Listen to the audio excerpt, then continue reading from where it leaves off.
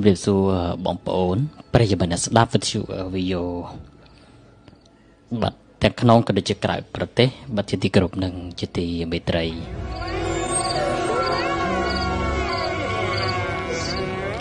ហើយក៏សូមក្រាបថ្វាយបង្គំព្រះសង្ឃគណៈគុណម្ចាស់គ្រប់ព្រះអង្គជាទីគោរពសក្ការៈទាំងក្នុងប្រទេសក៏ដូចជានៅក្រៅប្រទេសដែរកំពុងតែគង់ស្ដាប់ការផ្សាយផ្ទាល់ កម្មវិធីរាត្រីរន្ធត់ពីវិទ្យុ VO FM សម្រាប់រាត្រីនេះនៃការផ្សាយបន្តនេះកណា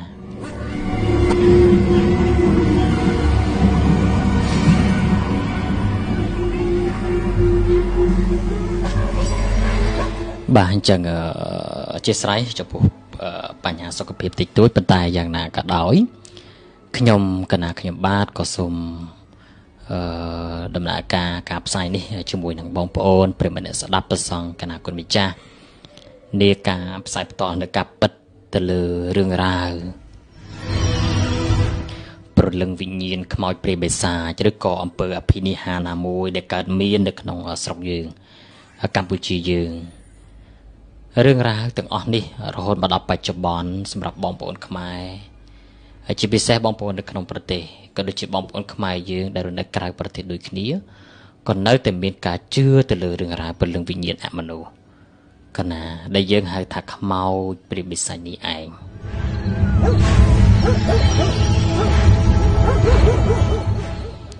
ការពិតគឺយើងនឹងបន្តជជែកជាមួយគ្នាលើកយកនៅការពិតហើយបងប្អូនប្រិយមិត្តអ្នកស្ដាប់ ឬក៏កណាគុណម្ចាស់មានជាសំណួរក៏អាចឲ្យ comment នៅក្នុងការ live តាម page ខ្ញុំកណាមើលឃើញរាល់អ្វីដែលបងប្អូនបានលើកឡើងហើយក៏អាចទូរស័ព្ទចូលរួមក៏បានដែរកណាអញ្ចឹងរាត្រីនេះគឺយើងត្រូវនឹងរាត្រីទី10រោចខែបគុណឆ្នាំចសម្រិទ្ធស័កពុទ្ធសករាជ2562 ក៏យើងត្រូវនឹងរាត្រីថ្ងៃសៅរ៍ទី30ខែមីនា គ្រិស្តសករាជ2019កណា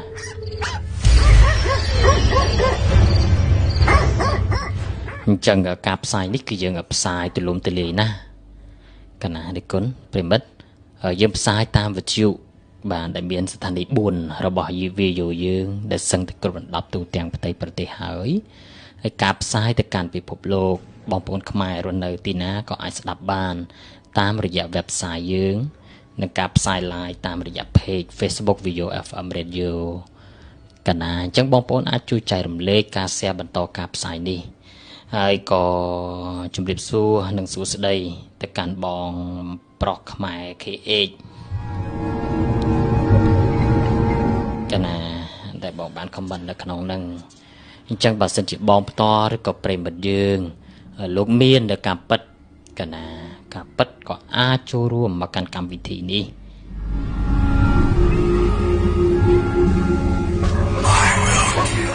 ដែលយើងមាននៅលេខទូរស័ព្ទដៃពីប្រព័ន្ធ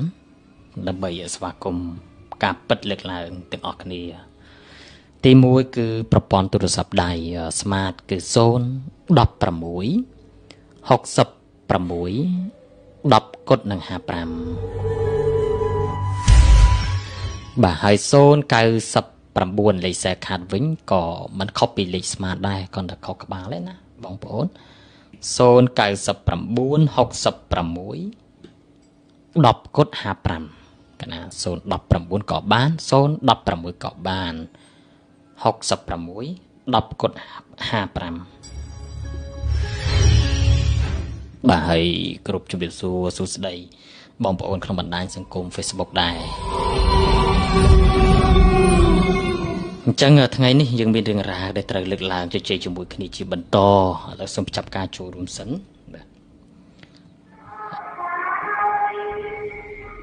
ហៅឡូជំរាបសួរបាទ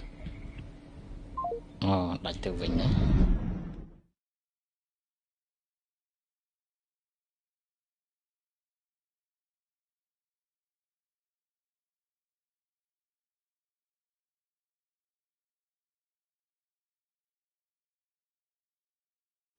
កណ្ណាអញ្ចឹងប្រិមិត្តយើងអាចបន្តទៀតហើយខ្ញុំថ្ងៃហ្នឹងក៏មាននៅព័ត៌មាន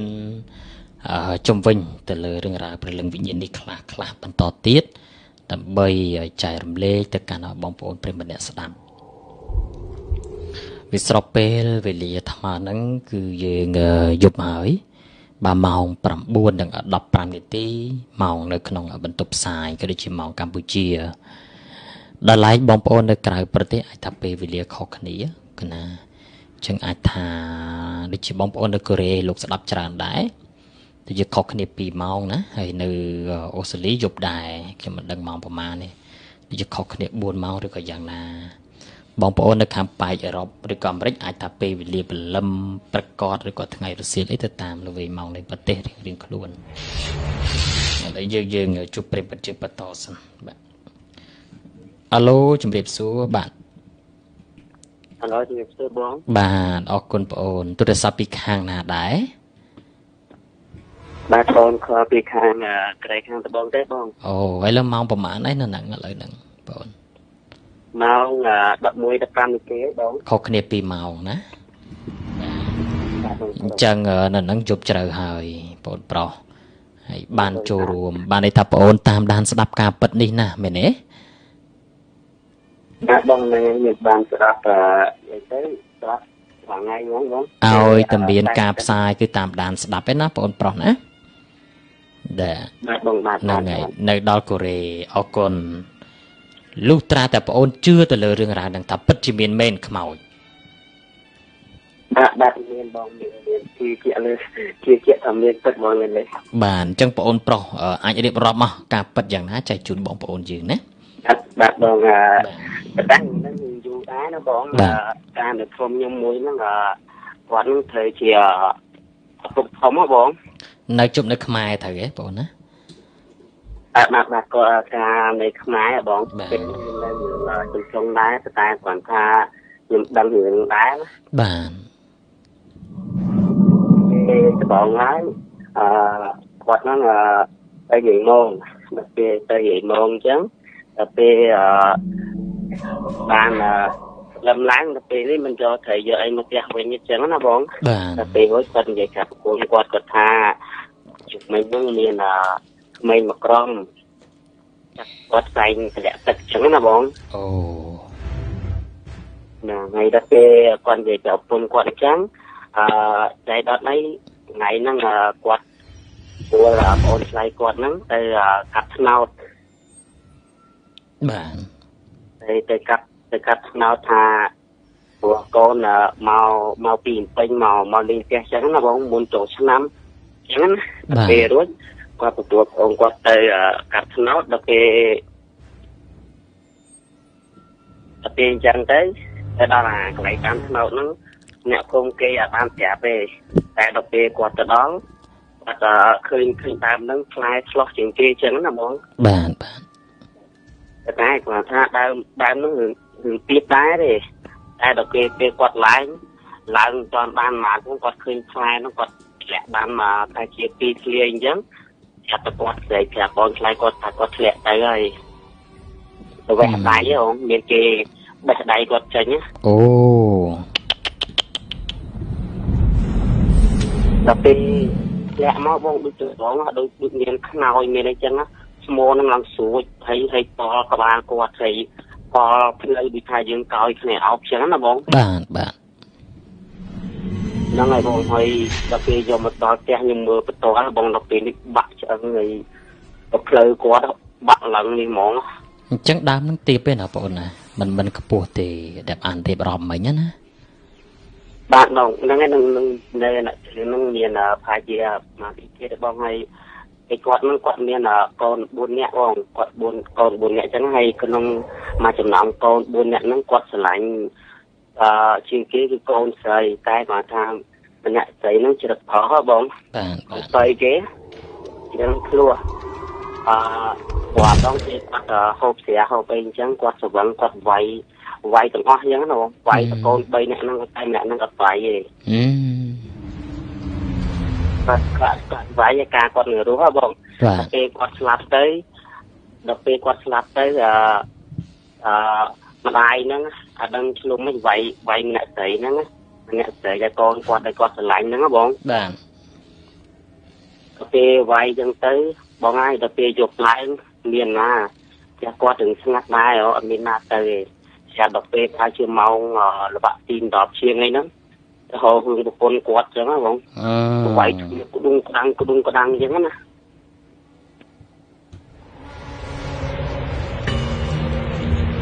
លេលេទេបង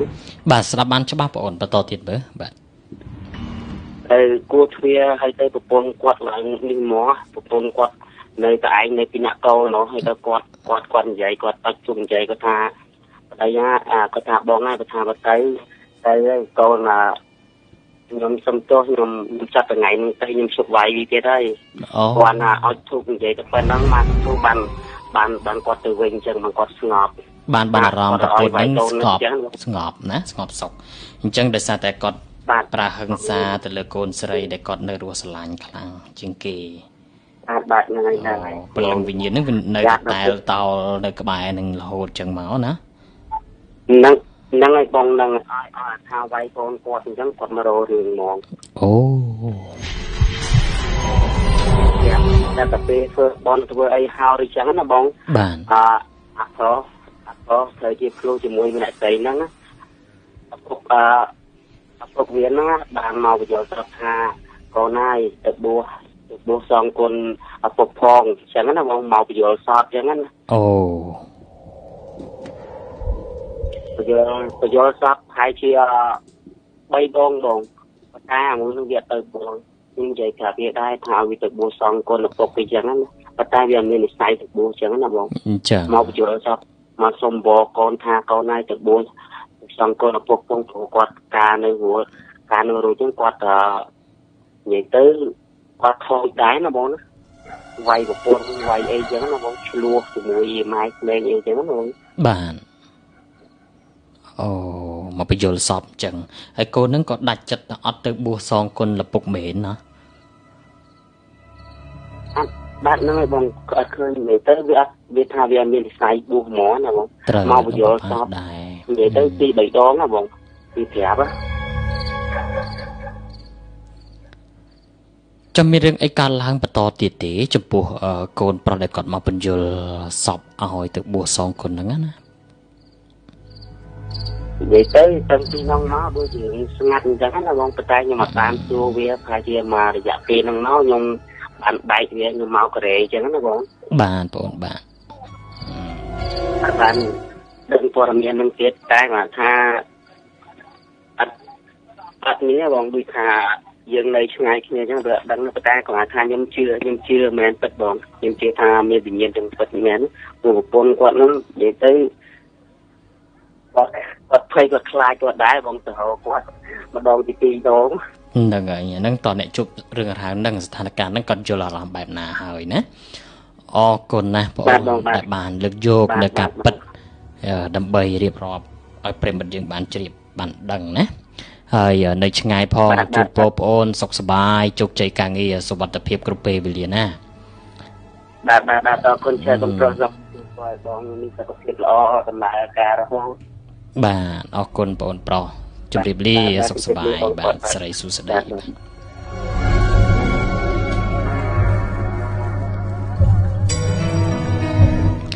បាទអញ្ចឹងបងប្រុសនៅខាងកូរ៉េខាងត្បូងបាទដែលកំពុងទៅតាមដានស្ដាប់បានចូលរួមណាអញ្ចឹងបងប្អូនខ្មែរបងប្អូនច្រើនដែរដែលនៅទីនោះយើងក៏ធ្វើការឆ្ងាយស្រុកទេស ស្រុកកំណើតសាច់ញាតិបាទហើយក៏កំពុងតែតាមដានស្ដាប់អញ្ចឹងហើយផ្ញើក្តីនឹងរលឹកទាំងអស់គ្នាមិនថានៅណាទេខ្មែរអឺកូរ៉េបៃអឺរ៉ុបអាមេរិកហើយថៃម៉ាឡេស៊ីម៉ាឡេស៊ី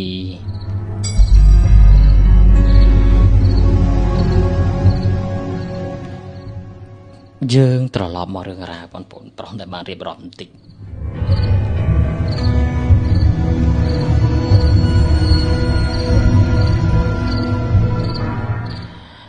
អឺខ្ញុំគណៈនិយាយបានថាព្រលឹងវិញ្ញាណនេះបើសិនជាព្រលឹងវិញ្ញាណមួយ ដែលគាត់កើតចាស់ឈឺស្លាប់គឺទៅហើយដូចជាមិនមាន អឺការមកបញ្យលឬក៏ឲ្យឃើញនេះឃើញនោះណាមួយទេ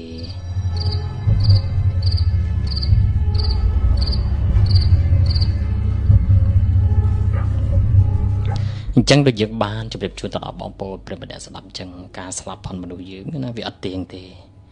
ដូចបងប្អូនបានឃើញហើយ នៅក្នុងបណ្ដាញសង្គមអឺ Facebook នឹងការស្លាប់ ដោយមិនបានដឹងខ្លួនណាដែលយើងហៅថាការស្លាប់ដោយតៃហោងកណាឧបតវហេតុនៃការកាត់ឡើងពីគ្រោះថ្នាក់ចរាចរណ៍ដែលយើងឃើញចាក់ស្ដែងដែលគាត់អត់មានបានដឹងអីសោះណាសុកសុកជីវិតរបស់គាត់បែរជាបានបាត់បង់តែអត់ដឹងខ្លួនទេនឹងគឺព្រលឹងវិញ្ញាណវិលវល់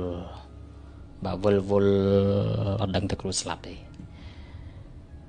មានរឿងប៉ិតមួយថ្មីថ្មីនេះគាត់អាយុ90ឆ្នាំជាង គឺដល់វ័យជរាដែលយើងតែតែនិយាយថាមនុស្សយើងជាមិនផុតពីក្តីស្លាប់មុននឹងក្រោយហើយបានន័យថាគាត់កើតចាស់ឈឺស្លាប់ទេវាទុំជ្រុះទៅហើយអញ្ចឹងនៅពេលហ្នឹងគ្រួសារសាច់ញាតិចៅកូនចៅទួតអីហ្នឹងគឺ បានចាក់ធរក្បែរតិចឲ្យគាត់ស្ដាប់ហ្នឹងចាក់ដល់វ័យហើយបងប្អូនដល់វ័យដែលត្រូវគាត់លាចាក់លោកហើយអញ្ចឹងទៅក៏បិទភ្នែកសឹមសឹមសឹមសឹមបាទកូនចៅដឹងដឹងនាំគ្នាដឹងថាថាថាជីដូនជីម្ដាយនឹងចិត្តទៅហើយអញ្ចឹងមកជុំគ្នាចាំមើលដល់ទៅពេលតិចតិចគាត់បិទភ្នែកបន្តិចសឹមសឹមសឹមសឹមសឹមសឹមសឹមដល់ខ្ចប់បាត់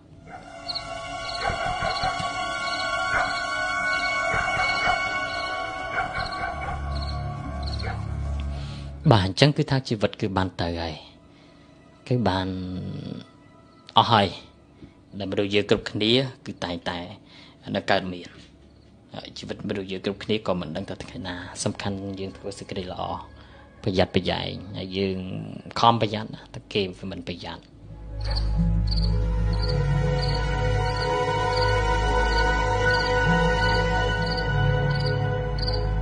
ចឹងចំណុចនេះអឺ បើសិនជាយើងនិយាយអំពីគ្រួសារសាច់ញាតិកូនចៅអីដូចជាមិនមិនសូវជា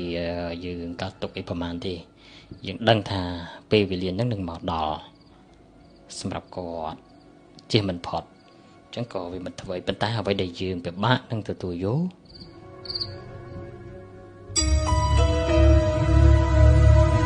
គឺមនុស្សអាចថានៅនិយាយជាមួយគ្នា នៅញញឹមដាក់គ្នា នៅ ប្រស្រ័យតាក់ទងគ្នា ក៏ប៉ុន្តែបានបាត់បង់ក្នុងហេតុការណ៍ណាមួយ ជាយថាហេតុអានោះគឺពិបាក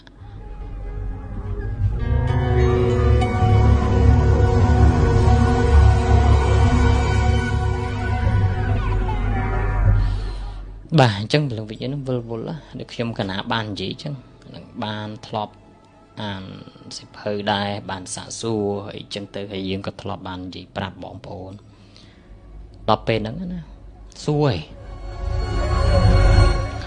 ថាមកជុំផ្ទះផ្ទះខ្ញុំឬក៏ផ្ទះនេះគេធ្វើស្អីមានមនុស្សហឹកហាក់ហើយហើយចូលផ្ទះអត់បានទេធម្មតាយើងគេប៉ុតស៊ីម៉ាប៉ុតអីចឹងណា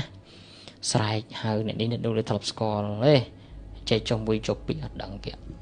ប៉ុន្តែសួរថាខ្លួននឹងអត់ដឹងទេចាំបើឃើញគេធ្វើអញ្ចឹងហើយហើយក៏ក៏អត់ដឹងដែរវាវាវាវាវាអញ្ចឹងបងរឿងរ៉ាវហ្នឹងណា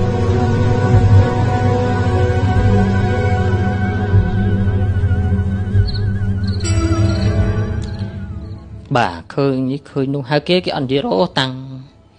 ប្របាក់ចិត្តហើយពេលហ្នឹងប្របាក់ចិត្តព្រលឹងវិញ្ញាណហ្នឹងដល់ពេលប្របាក់ចិត្តអញ្ចឹងគិតខ្លួនឯងមិនអញ្ចឹងអីជាមួយចុះពីណាតុលចិត្តដែរដល់ទៅពេលដូចខ្មែរយើងនិយាយថាតែខ្មោចអញ្ចឹងគាត់បានចែកឋានទៅ7ថ្ងៃគឺចាប់ផ្ដើមដឹងណាកណារឿងរ៉ាវហ្នឹងទោះបីជាយើងវាវាគ្រាន់តែស្ដាប់គ្រាន់តែឮ ដែលយើងមើលមិនឃើញនៅសភាពពិតជាក់ស្ដែងប៉ុន្តែយើងអាចពិចារណាទៅតាមការយកឃើញបែបរឿងរៀងខ្លួនទៅ គឺវាអញ្ចឹងព្រោះដល់ពេលហ្នឹងគឺចាប់ផ្ដើមថាអូ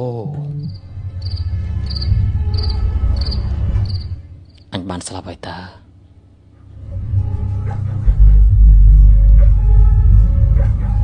គឺចាប់ផ្ដើមសោកសង្រេងបាក់ក៏ទុកណា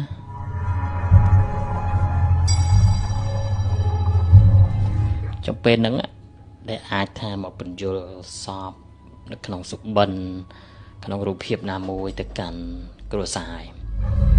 ពុកម្ដាយបងប្អូនអីជាមួយចុកពីដើម្បីឲ្យដឹង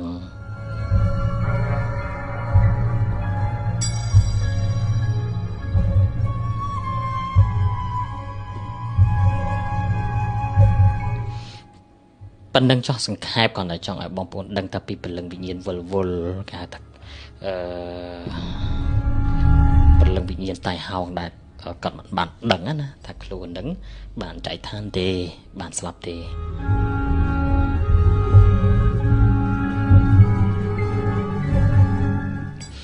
កណានេះដែលយើងចង់ផ្សារភ្ជាប់នឹងអ្វីដែលបានចូលរួមពីបងអូនប្រុសបាញ់មិញហើយដូច បងប្រុសដែលថាឡើងដើមឈើហ្នឹងធ្លាក់មកហ្នឹងគឺធ្លាក់ក្ពាកផ្លឹបស្លាប់បាត់កណាបាទដូចគ្នាដែរក៏យើងអាចនិយាយបានតាមពីវនីវបាទបងប្អូនយើងបើកបរបង្កើតការប្រុងប្រយ័ត្ន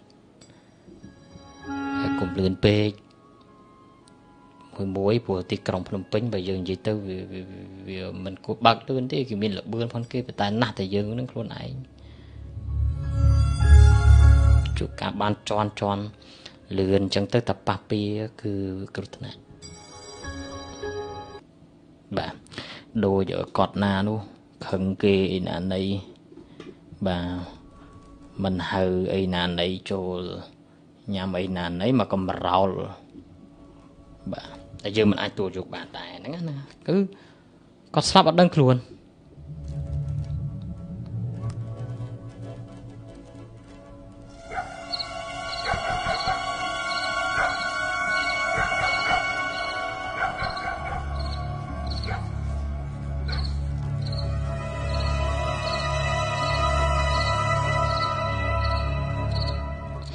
អឺចាំមើលខ្ញុំនឹងរកពេលវេលាបន្ថែមដើម្បីជម្រាបជូន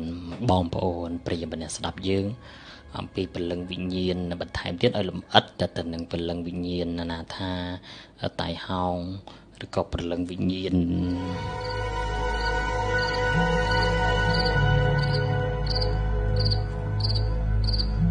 អឺដែលយើងកើតចាស់ឈឺស្លាប់នឹងពលឹងវិញ្ញាណផ្សេងផ្សេង ដើម្បីយកអត្ថាធិប្បាយដែលយើងផ្អែកទៅលើអត្ថបទនិងការជាព័ត៌មានផ្សេងផ្សេងដែលយើងបានយកមកទុកដើម្បីយើងចង់ចែករំលែកទៅកាន់បងប្អូនស្ដាប់ហើយពិចារណាហើយបើគិតថាទំនងអីចឹងទៅក៏យើងស្ដាប់ទៅហើយបើសិនជាមិនទេក៏ក៏តាមនឹងដែលបងប្អូនយល់ឃើញរៀងរៀងខ្លួន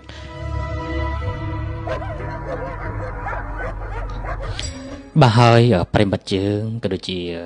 អស់លោកលានកញ្ញាកណ្ដាលគុណវិចាស់ប្រសិនបើមាននៅការប៉ັດបន្តក៏អាចចូលរួមមកកាន់កម្មវិធីរាត្រីរន្ធត់បានដែលយើងកំពុងតែផ្សាយបន្តសម្លេងនេះកណាអាចចូលរួមបាន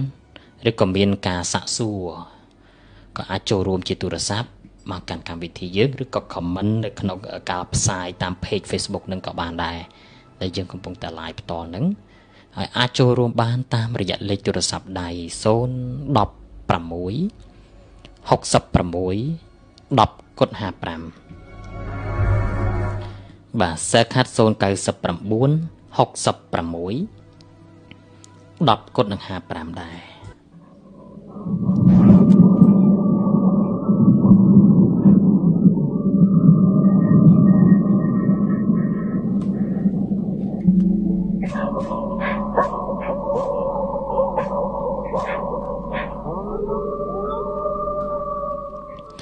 បាទអញ្ចឹងប្រិមិត្តយើងអាចចូលរួមបានទាំងពីរប្រព័ន្ធហ្នឹងដូចតែបានជម្រាបជូនចុះ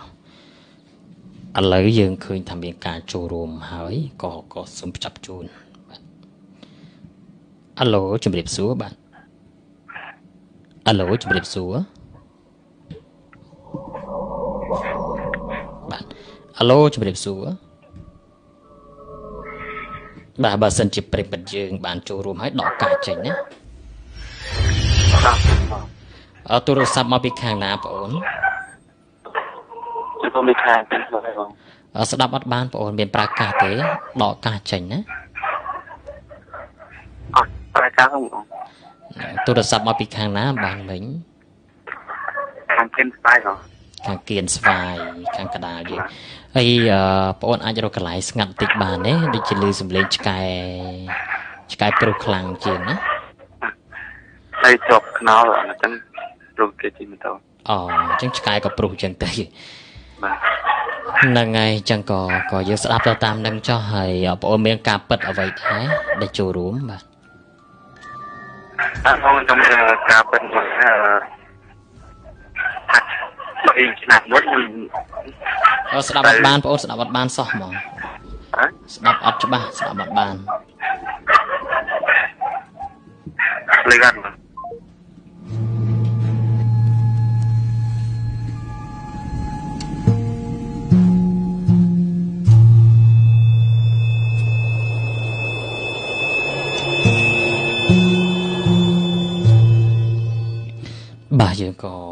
ផ្ដាច់បងអូនទៅវិញសិនព្រោះព្រោះស្ដាប់អត់បាន ទី1អឺសំឡេងក្បែរខាងឮជាងបងអូននិយាយណាអធិស្ឋានជាងបងអូនឲ្យព្យាយាមម្ដងទៀតហើយរកកន្លែងដែរគិតថារៀងរៀងស្ងប់ជាងនឹងបន្តិចណាដើម្បីយើងស្ដាប់គ្នាច្បាស់បងប្អូនលោកស្ដាប់ច្បាស់ដែរបាទអាឡូជំរាបសួរបាទជំរាបសួរបាទអរគុណបងហើយទូរស័ព្ទពីខាងណាមកវិញបង អូខ្ញុំទូរស័ព្ទចេញពីពេទ្យសង្ឃបងអូខាងពេទ្យលោកសង្ឃនៅនៅក្នុងពេទ្យហ្នឹងឬក៏ក្បែរខាងហ្នឹងបងបាទបងបាទនៅនៅក្នុងពេទ្យឥឡូវហ្នឹងហ៎បងហ៎ឬក៏នៅក្បែរខាងពេទ្យលោកសង្ឃអូនៅក្នុងពាំងអូនៅក្នុងផ្ទះបង បាទអរគុណអញ្ចឹងបងពិតជាមាននៅការពិតដែរដើម្បីចែករំលែកជូនប្រិយមិត្តយើងណាបាទមានជឿងការពិតជួបជួបខ្លួនបងផ្ទាល់ហ្មងហ៎រឿងហ្នឹង បាទបាទណាជឿងជួបបអឺខ្ញុំផ្ទាល់ហ្មងបាទសូមអញ្ជើញបងប្រុសបាទបាទអឺម្នាក់ហ្នឹងឈ្មោះរោគឺគាត់ជាអ្នកជាអ្នកជំនាញតាមអកកណ្ដងណាហ្មងអូបាហើយទដល់ពេលគាត់ហ្នឹងហើយដល់ពេលគាត់ទៅអឺជាងអកកណ្ដងហើយពេលគាត់ចាប់ពីអកកណ្ដងមកគាត់ចេញមកគេមិនដឹងថាគេប្លន់គាត់មិនដឹងគេសម្រាប់គាត់ដល់នេះបាទហើយដល់ពេលហើយគាត់ក៏បានស្លាប់ហឹម ស្ដាយហើយដល់បាទហើយដល់ពេលហើយលើសាប់អឺខ្ញុំអឺខ្ញុំក៏បានដឹងដែរអត់អត់បានដឹងថាគាត់នឹងស្លាប់តាំងពីថ្ងៃណាមកទេប៉ុន្តែម្ចាស់អបដល់ហ្នឹងគាត់នៅចិត្តម្ដុំផ្ទះខ្ញុំដែរបាទអឺដល់ពេលហើយអឺញឹកថ្ងៃមួយខ្ញុំក៏បានពងអឺពងអឺដេកអញ្ចឹងណាបាទហើយផ្ទះផ្ទះខ្ញុំអឺចាក់ដី ចាក់ដីសិតអឺសិតដីឲ្យទ្វារចោលហ៎បាទដល់ពេលហើយគាត់ខ្ញុំអឺដេកលក់បានមួយភ័ក្រគឺសឹមគាត់ដើរមកគាត់និយាយទៅមែនតើមកគាត់មកដល់គាត់ឈោពីមុខហ្មងអូពីមុខឲ្យឈ្មោះរ៉ូហ្នឹងហ៎បងហ៎បាទបាទហ្នឹងហើយអូហើយហើយដល់ពេលគាត់ឈោឬសឹមដល់ពេលហើយខ្ញុំខកឃើញគាត់ខ្ញុំថាហើយខ្ញុំអឺ ខ្ញុំនិយាយទៅអឺមិនថាខ្ញុំអឺនេះទេប៉ុន្តែខ្ញុំក៏និយាយទៅគាត់ថាអូយអូនអើយកុំធ្វើអញ្ចឹងអឺកាត់បងបន្តិចអឺពេលហ្នឹងបងអត់ដឹងថាគាត់នឹងស្លាប់ទេត្រូវហ៎ពេលហ្នឹងណាឬក៏ដឹងហើយដឹងហើយដឹងហើយដឹងហើយអឺអឺព្រួយអឺព្រួយអឺតន្ត្រីពិសិដ្ឋហ្នឹងគាត់គាត់បានមកប្រាប់ខ្ញុំអញ្ចឹងណាបាទបាទបងបាទហ្នឹងហើយដល់ពេលហើយអឺខ្ញុំក៏ប្រាប់គាត់ថាអូនអើយកុំធ្វើអញ្ចឹងអូអូនឯងបងឯងចង់ ទៅណាក៏ទៅទៅអូនឯងកុំមកឈប់មកទ្វារមុខទ្វារទេបងអញ្ចឹងព្រួយផ្ទះទ្វារបងអឺផ្ទះបងអត់មានទ្វារទេហើយដល់ពេលហើយគាត់ក៏អត់ទេគាត់ក៏លឺគាត់អត់មកដែរគាត់គាត់គាត់ដើរទៅអាផ្ទះអាផ្ទះឡើងផ្ទះតន្ត្រីពិសិដ្ឋហ្នឹងបាទគាត់ក៏ដើរទៅដើរទៅបាត់ហើយនិយាយពីឆ្កែខ្ញុំមកលូលូហើយដល់ពេលបានម្លងបានប្រហែលជាមួយអាទិត្យក្រោយទៀតដល់ពេលបានមួយអាទិត្យក្រោយទៀតលើសិត គាត់មកឲ្យខ្ញុំឃើញម្ដងទៀតហើយខ្ញុំនឹងកំពុងតែនេះលើសិតឃើញបថៅជាប់ពីក្រោយខ្នងគាត់ហ្នឹងបងអូតាំងពិតគេសម្រាប់គាត់ហ្នឹងហើយអឺអឺតន្ត្រីអឺតន្ត្រីសិនហ្នឹងក៏គាត់ប្រាប់ខ្ញុំដែរថាគេកាប់គាត់ហ្នឹងដោយសារអឺកាប់នៅបថៅអើយោហើយទៅហៅជាប់នឹងខ្នងគាត់ណាហើយគាត់ក៏ក៏មកសុំលាខ្ញុំថាបងអើយខ្ញុំលាបងឯងហើយខ្ញុំទៅចាប់ជាតិហើយអើយយោយោយោ ហ្នឹងហើយហើយគាត់ហើយគាត់នៅនឹងកាលពីមុនគាត់នៅផ្ទះផ្ទះតន្ត្រីពិសិដ្ឋហ្នឹងប៉ុន្តែផ្ទះមិននេះតន្ត្រីពិសិដ្ឋមិនផ្ទះថ្មទេផ្ទះខ្ទមដែរណាបាទហ្នឹងហើយផ្ទះគាត់នៅជិនពេលសងហ្នឹងនៅគេថានៅលុកដុំឋានៈអនាធិបតេយ្យហ្នឹងបាទហើយនិយាយខ្ញុំនិយាយទៅបងប្អូនអ្នកភូមិទាំងអស់គេថាយូរចំឡងអស់ចំឡងឆ្កែព្រូវួយគាត់នឹងចំឡងគាត់មកដេកហ្នឹងហើយ គាត់មកដេកផ្ទះតន្ត្រីសិនហ្នឹងអូហ្នឹងហើយលើសាប់គាត់មកអញ្ចឹងខ្ញុំថាអូយអូនឯងធ្វើអញ្ចឹងងាប់ហើយបងបាសសក់ងាប់ហើយបងបងជ្រូសក់ឡើយលើគាត់ថាអត់ទេបងបងខ្ញុំមកលាបងអញហើយខ្ញុំទៅចាប់ជាតិហើយហើយខ្ញុំមើលទៅពីក្រោយខ្នងគឺសុខឃើញកថៅជាប់នៅហ្នឹងហ្នឹងដូចជាគាត់ឲ្យបងដឹងថាគាត់បានស្លាប់ហ្នឹងដោយអ្វីមួយហ្នឹងហើយដែលឲ្យបងឃើញណាដល់ពេល ផឹកផឹកឡើងផឹកឡើងពិសិដ្ឋពិសិដ្ឋតន្ត្រីពិសិដ្ឋហ្នឹងក៏គាត់មកភូមិភូមិខ្ញុំហ្នឹងព្រួយផ្ទះគាត់នៅហ្នឹងហ៎ព្រួយគាត់ជួលផ្ទះនៅនៅនៅផ្លូវ2004នេះផ្លូវ North Bridge ហ្នឹងបាទហ្នឹងហើយគាត់ទៅជួលផ្ទះនៅហ្នឹងហើយគាត់អត់នៅនេះផ្ទះនេះក៏ទុកចោលទុកគ្រាន់តែឲ្យអ្នកជំនាញឲ្យវ៉ាន់មកដេកអាអ្នកជំនាញថាគាត់ជួយបណ្ដុះបណ្ដាលអញ្ចឹងណាបាទយឲ្យល់ឲ្យគាត់មកដេកនៅនេះដល់ពេលហើយគាត់ឡើងគាត់មកប្រាប់ថា វានឹងស្លាប់ដោយគេកាប់នឹងបថៅអូកាប់ហើយកាប់មុខគាត់កាប់នឹងខ្ទេចមកឲ្យខ្នងគាត់ទៅកាប់នឹងខ្ទេចហើយអឺ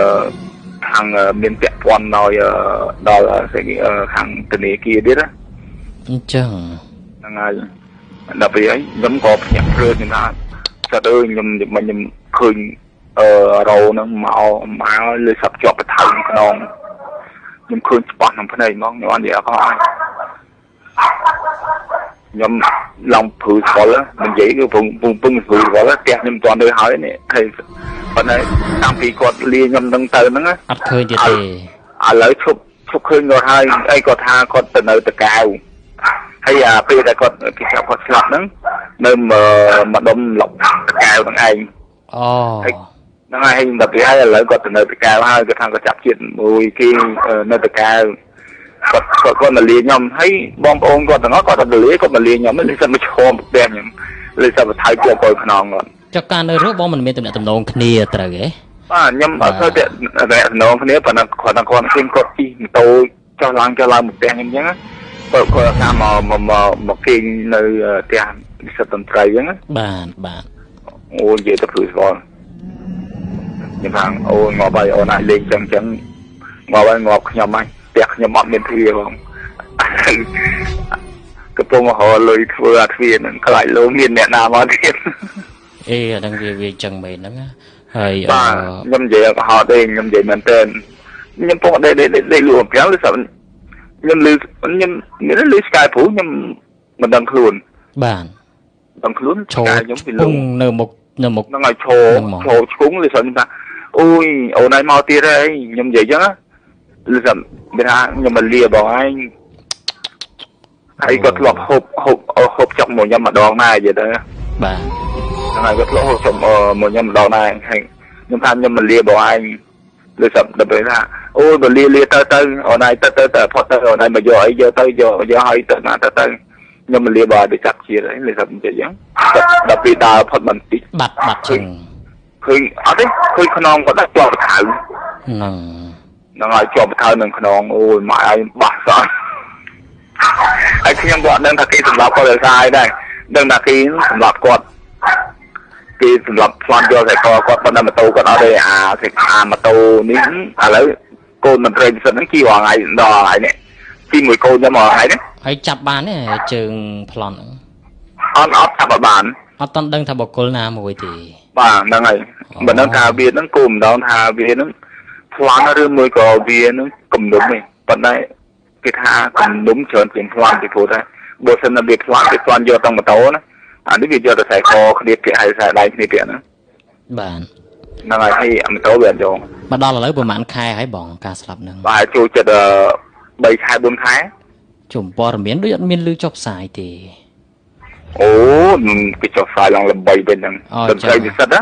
អូខ្ញុំតបាន្ច់ត្រីពិសិដ្ឋណា បាទហ្នឹងហើយខ្ញុំអត់បានចាប់អារម្មណ៍កថាបាបាទនព្រោះខ្ញុំចឹងចឹងដូចជាតតហើយជាតាខ្ញុំតាស្គ្រូលមើលបុំឃើញអានោះអានតិចទៅចំណងជើងបើបើបើថាមិន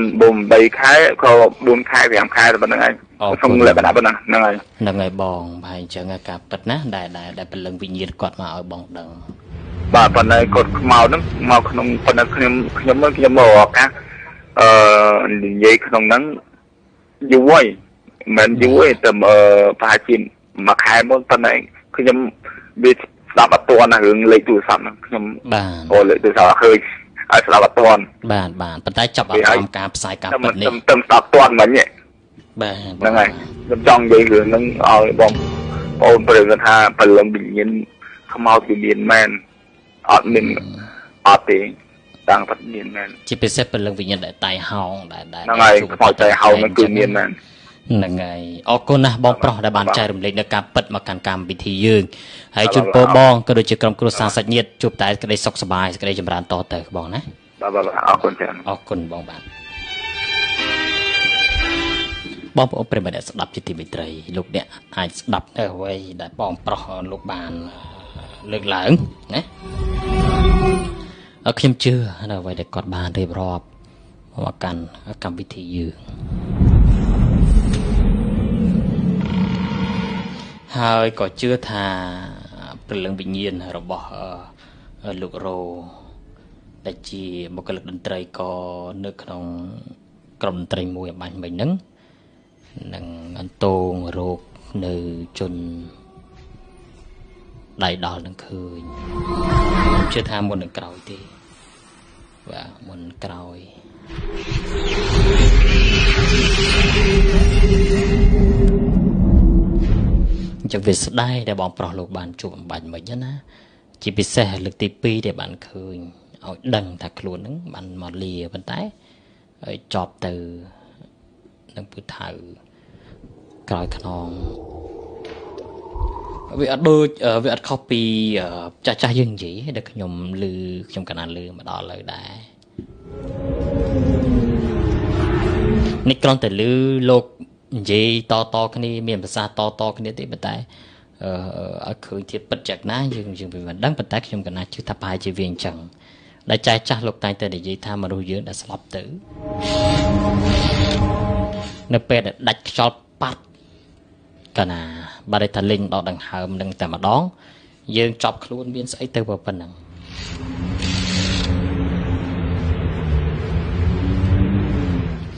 បាទចប់ខ្លួនមានសម្លៀកបំពាក់ទៅត្រឹមប៉ុណ្ណាប៉ុណ្ណឹងចប់ត្រឹមតែកម្អារុំចកេះទៅតែប៉ុណ្ណឹងពួកយើងយកបានតែប៉ុណ្្នឹងឯងដើម្បីរូបរាងកាយពលឹងវិញ្ញាណយើងដែលក្រោកនៅសម្លៀកបំពាក់ឬក៏អ្វីដែលនៅចប់ខ្លួនអញ្ចឹងនៅពេលដែលអឺខ្មែរយើងនៅពេលដែលមនុស្សដែលស្លាប់ទៅបងប្អូនសាច់ញាតិ គឺយើងតែងតែគេហៅថាអឺរៀបចំសពណាបាទអ្នកខ្លះហ្នឹងក៏កត់លាបប្រេងលាបម្សៅសំអិតសំអាងទៅស្លៀកពាក់ឲ្យសពឲ្យស្អាតបាតណានឹងនឹងគ្រាន់តែយើងតបតែង នៅរូបភាពខាងក្រៅទេប៉ុន្តែយ៉ាងណាក៏ដោយគឺ គឺបងប្អូនលោកធ្វើអញ្ចឹង ប៉ុន្តែធាតុពិតពលឹងវិញ្ញាណដែលលោកបានចែកឋានទៅហើយនឹងដែលបានស្លាប់ទៅនឹងគឺទទួលបានអ្វីដែលខ្លួនមានប៉ុណ្ណឹង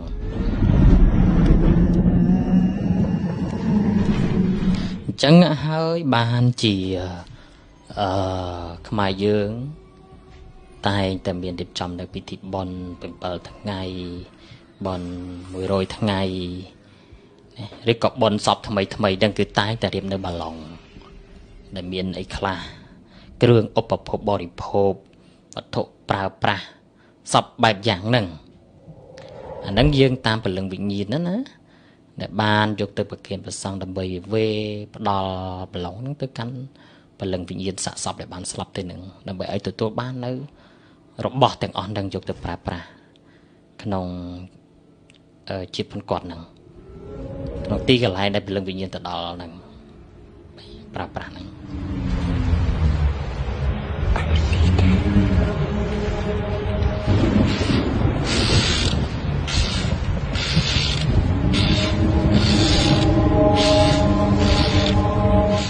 ហ្នឹងហើយអញ្ចឹងវាមិនខុសពីអ្វីដែលគាត់បានរៀបរាប់ថាខ្មោចស្លាប់ហ្នឹងគឺឲ្យឃើញនឹងខ្លួនចប់ហ្នឹង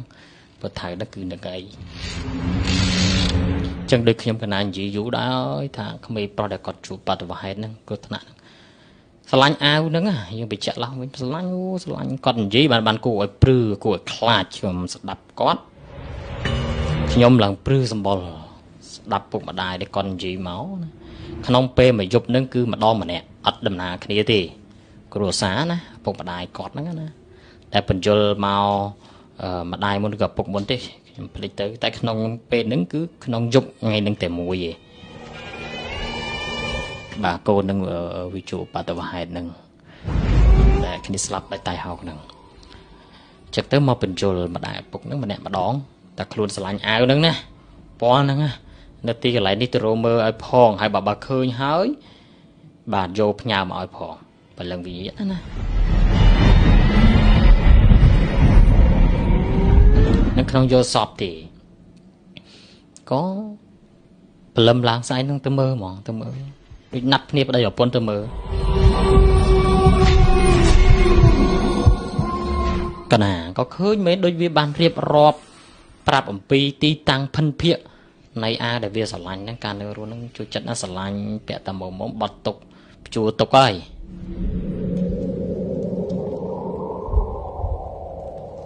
ពេលហ្នឹងបានបានដឹងខ្លួនថាអូព្រលឹងវិញ្ញាណកូនវិលវល់តែតោលហើយក៏រៀបចំអាដឹងឬក៏អ្វីផ្សេងផ្សេងទៀតដើម្បីវេប្រកេនទៅព្រលឹងវិញ្ញាណនឹងឲ្យទទួលបានហើយចាប់ចាប់ជាតិអីចឹងទៅ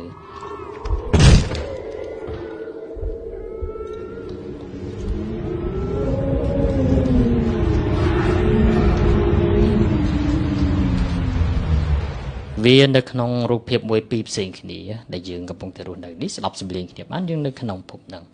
ចឹងពពួកអមនុស្សនៅផ្សេងពីយើងតែអាចនឹងទំនាក់ទំនងយើងតាមរយៈការផ្ដល់ជាការយកសពឬក៏ឲ្យឃើញក្នុងរូបភាពណាមួយដែលអ្នកណាគួរតែឃើញអ្នកណាដែលវាឲ្យឃើញឲ្យដឹងឲ្យលឺចឹងទៅ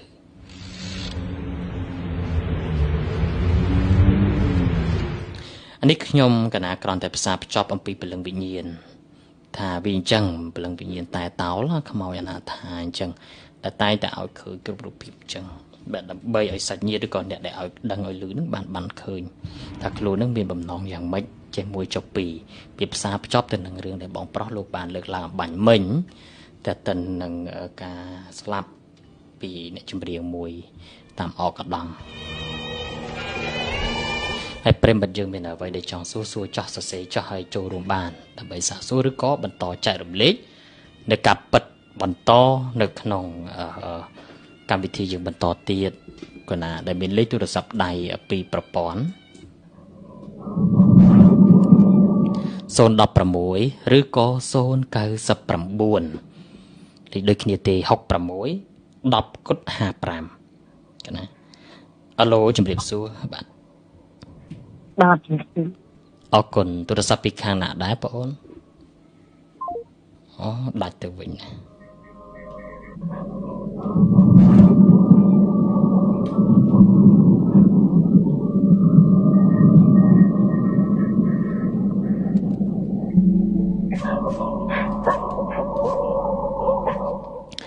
កណ្ដាលចឹងលេខទូរស័ព្ទយើង គឺ016លេខ smart ហើយ099 cell card គឺលេខដូចគ្នាទេ ដែលបងប្អូនអាចចូលរួមបាន66 10គុត55កណាអាឡូជំរាបសួរអឺបងអូនប្រុសអំបាញ់មិញបងអូនប្រុសអំបាញ់មិញណាបើអត់មានរឿងអីដែលនិយាយឬក៏មិនតន់ចង់និយាយគុំគុំបាច់ខមកទេ ទុកទូរស័ព្ទឲ្យទំនេរល្អជាងឬក៏ទុកទូរស័ព្ទឲ្យបងប្អូនលោកចូលរួមចូលរួមបើសិនជាបងប្អូនបកកែទូរស័ព្ទចូលរួមអ្នកដែលក្រោយក្រោយហ្នឹងគាត់ចូលរួមដែរវាវារវល់ដោយសារតែបងប្អូនចូលរួមនិយាយមិញបិទពេលដែលខ្ញុំកណាលើកចុចបិទវាវាវាវាវាវាមិនគួរធ្វើអញ្ចឹងបើអត់មានរឿងអីមិនបាច់ចូលទេណាដូចបងអូនមិញអាឡូជំរាបសួរបាទបាទមួយទៀតអរគុណបងអូនប្រុស ទូរស័ព្ទពីខាងណាដែរបានខុសពីក្រុងតាស្មាទេណាពីពីខាងណាបងអូនពីខាងណាខាងទឹកមកទៅបងអូតែខ្មៅណាបាទអរគុណដែលបានចូលរួមបងអូនជាអ្នកជួបនៅរឿងរ៉ាវពលឹងវិញ្ញាណខ្មោចនេះខ្លួនឯងបានជួបក្នុងអាសមអូយ៉ាងណាទៅបងអូនប្រុសបាទអឺខ្ញុំចង់និយាយថាលើបានពីដំបូងមកហើយទៅសុំមួយដុល្លារបង6កន្លះ បាទមួយដុល្លារវាចាងផងហើយមិនចង់ទៅតែចេះបងអូនឬដូចខ្ទោខ្ទោបងអូនប្រុសបងបងអូនដល់កាសចេញបានទេបើមានកាសណាឥឡូវបងអូច្បាស់ល្អបងខ្ញុំចង់លើកឡើងនិយាយណារឿងពិតពីខ្ញុំឃើញស្ទប់នេះបងបាទបាទអឺមកពីកន្លែងហ្នឹងខ្ញុំខ្ញុំជិះតោនៅសុខសាយយើងណាបងលឹងអត់ហើយថ្មហ្នឹងណាបាទដល់ពេលហ្នឹងជិះតោទៅទៅខ្ញុំប្រាប់អ៊ំណាអ៊ំថា ឲ្យទៅទិញប្រេងទីមកពេញកាតបាទឥឡូវបងទិញប្រេងកាតបាទបាទពេញកាតបងខ្ញុំជិះតោទៅទិញកញ្ញាវាពោពេញកាតតាមវិញឡៅឡៅដែរហើយពីមួយខែពីរខែហ្នឹងយើងនិយាយលក់ដល់បងពេញកាតទៅវានៅនៅត្រែអញ្ចឹងណាបាទបានជិះទៅយើងបើមកហោះខ្ញុំទៅដល់ផ្ទះទៅដល់មួយវាលក់ប្រេងមួយណាពេលហើយខ្ញុំក៏ច្បាស់តែមកបងគាត់ពីលើបោផ្ទះគេមកហ្មងហក់ឬហោះ រឿងពិតបងរឿងពិតបងអត់ទេរឿងឃើញហោះហ៎បាទខ្ញុំថាស្មាស់តែបងជុំអាហ្នឹងបើយើងនិយាយខ្ញុំនិយាយទៅពួកគេឃើញមុខគ្នាដែរអឺហឹមមេធំបងមេធំមេធំខ្មៅហោះលើបោផ្ទះវាបើពីកំពស់ហើយជាកំពស់ហ្មងទៅហើយជាគង់ជាង10ម៉ែត្រណាបាទបើហោះហោះទៅទៅពេលមកមកឃើញប្រហែលទៅហោះទៅណាបើមានមុខណាអត់មកហោះទៅអោអោមើលថាជា មានតែណានៅឡៃតូចហ្នឹងបាទបើមករត់តាមមើលរត់តាមឃើញហ្នឹងឃើញចំក្រោយទៅពេលហ្នឹងហើយជាបើនិយាយវាហោះហាទៀតណាធ្លាក់មកគាត់ចាស់ចាយទៅមួយហ្នឹងហឹមបាទធ្លាក់បាត់ហ្នឹងខ្ញុំតាមរមកទៅអត់ដូចក្នុងខែផ្សារដែរវាអត់អាខែទៅរបាយទេបងបាទបងអូនបាទខែទៅរបាយទៅពេលហ្នឹងខ្ញុំមិននិយាយថាស្អីហោះធំណាខ្ញុំនិយាយថាខ្មោចហោះ ទៅពេលហ្នឹងទៅពេលថាជាខ្លះខែខ្ញុំឡើងមកឡើងមកពេញវិញមកហើយមានបងស្រីហ្នឹងគាត់ឈឺគាត់ឈឺជំងឺគាត់ឈឺលក្ខណៈថាជាងសូត្រខ្ញុំអមអូបាទហ្នឹងហើយខ្ញុំទៅប្រាប់ខ្ញុំប្រាប់បងតាមមុនមកខ្ញុំប្រាប់បងមួយហ្នឹងគាត់នៅស្រុកហ្នឹងថាបងខ្ញុំឃើញតែជាពីថ្ងៃមុនខ្ញុំទៅទិញត្រីខ្ញុំឃើញលេខគាត់ខ្មោចហោះស្មាត់ចាស់ទៅពេលហើយកំពុងគាត់និយាយថាចេះ តែទីផងទីផងខ្មោចឈ្មោះមុខហ្នឹងទៅពេលហើយបានតែវាកន្លះខែបងតែខ្ញុំគាត់ទទួលមិនអភិរក្សហ្មងអូគួរឲ្យសោកស្ដាយបាទប៉ុណ្ណឹងរឿងហ្នឹងគឺជារឿងពិតខ្ញុំគាត់ចង់និយាយថាអ្នកចូលរួមសូមគំលើរឿងណាមិនពិតគំលើមិននិយាយអសោះបាទបាទបងអូនបាទហើយឃើញផ្សោតភ្នែកហ្នឹងគឺមកព្រិចទៅបាត់ឈឹងអញ្ចឹងទៅណាហោះហើយយើងឃើញមកផ្លេតបើឃើញហ្នឹងឈឹងមកឃើញថាថៃជាទុំថៃជាទីទុំថៃជាទីនាទី3នាទីហ្មងអេពីអេយូរអញ្ចឹងណាបាទ ពី3នាទីយូរយូរបាទទុំថៃជា3នាទីហ្មងទុំជា3នាទីហ្មងឃើញបើនិយាយឃើញអស់គ្នាឃើញមើលតែ4 5នាក់ឃើញមុំមើលមុខគ្នាហ្មងដកនឹងធំធំមកគ្នាអញ្ចឹងពី3នាទីយូរយូរមែនទេហ្នឹងនិយាយយើងមើលយើងចូលមើលដកនេះហ្នឹងរត់ទៅមើលក៏ដកក៏ចេះចាយដកមួយណាបាត់បាត់មកក្រោយហ្នឹងហ្មងអឺហឹមបងជឿណាការប៉ັດជួការវាវាវាវាមានអញ្ចឹងមែនបងប្អូនជាអ្នកជួបនៅស្ថានភាពស្ថានភាពហ្នឹងណាបាទបងអរគុណច្រើនការប៉ັດ ដែលបានលើកឡើងហើយជូនបងប្អូនសុខសប្បាយណាសំណាងល្អជោគជ័យក្នុងភារកិច្ចការងារសេរីសួស្តីបងប្អូនបាទអរគុណបាទរៀបរៀបបងនេះគេបងអរគុណច្រើន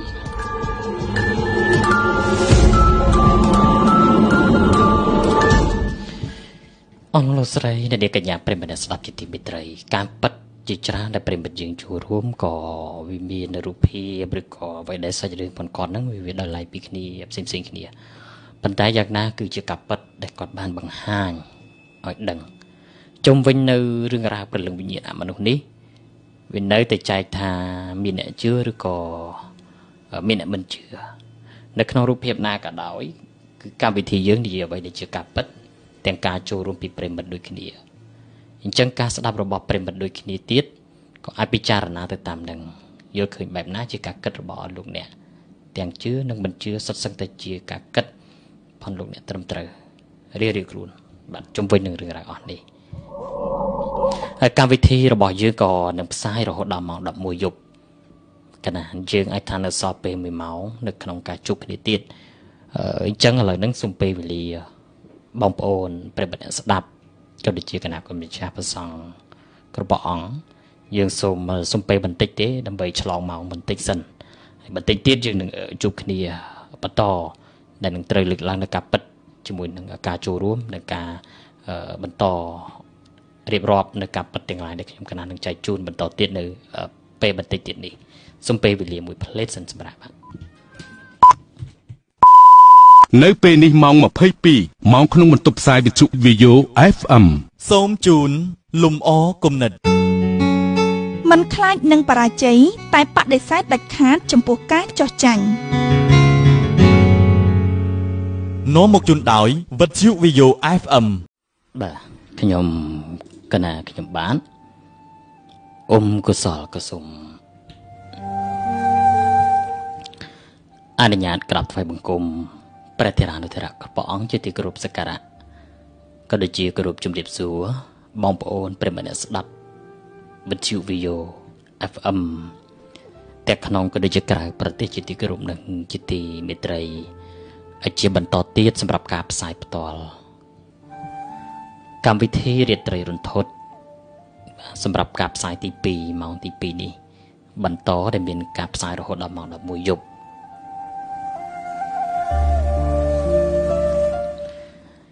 វេលាអាត្មានឹងគឺយើងយប់ជ្រៅទៅហើយ បងប្អូននៅតាមបណ្ដាខេត្តតាមស្រុកភូមិនឹងគឺស្ងាត់ភូមិស្ងាត់ផ្ទះរៀងរៀងខ្លួនអស់ហើយហើយដល់ឡែកបងប្អូនក៏នៅតែបន្ត បើកវិទ្យុស្ដាប់បើកទូរស័ព្ទដៃស្ដាប់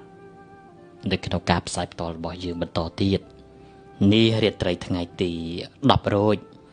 ខែផល្គុនឆ្នាំចសម្រិទ្ធស័កពុទ្ធសករាជ2562ក៏ត្រូវនឹងរាត្រីថ្ងៃសៅរ៍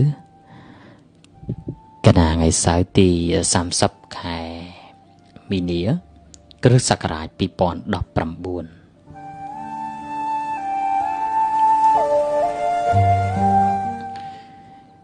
កម្មវិធីរបស់យើងគឺនៅតែបន្តលើកយកនៅការពិតទាំងឡាយទៅលើរឿងរ៉ាវប្រលឹងវិញ្ញាណខ្មោចព្រាបបិសាចដើម្បីយើងបានជិះបានដឹងទាំងអស់គ្នានឹងការភ្ជាប់ការចូលរួមជាបន្តទៀតសម្រាប់ការនិមន្តចូលរួមនឹងទូរស័ព្ទចូលរួមពីបងប្អូនប្រិមិត្តគណៈគុណម្ចាស់ដែលមាននៅការពិត